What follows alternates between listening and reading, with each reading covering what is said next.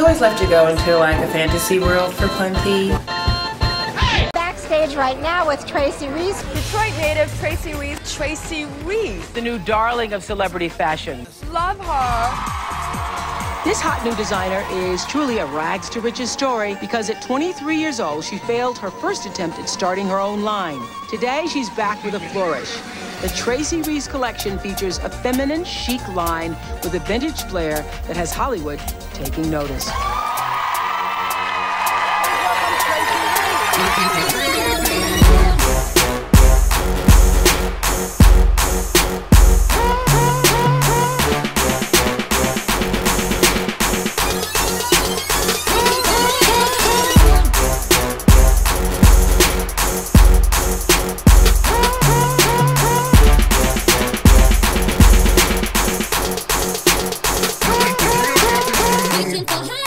The competition is fierce as models line up for a chance to strut down Tracy Reese's runway in her upcoming Fashion Week show. Mrs. Obama is a big fan of yours. She's worn your dresses, I think, on 15 different occasions, public and in her private life as well. And I, you sent a couple of designs for her to consider. Did you have any idea she was going to wear your dress that night? We had no idea. We weren't sure. We were warned that there was a possibility, mm-hmm. but you know they weren't sure until the last minute. So until she stepped out on the stage, we didn't know.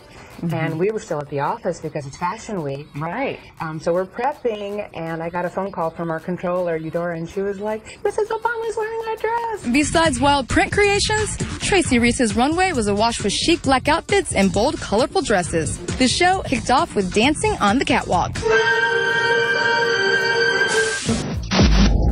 Kate made a quick change to attend Tracy Reese's show, where vibrant colors and patterns could be found on the catwalk.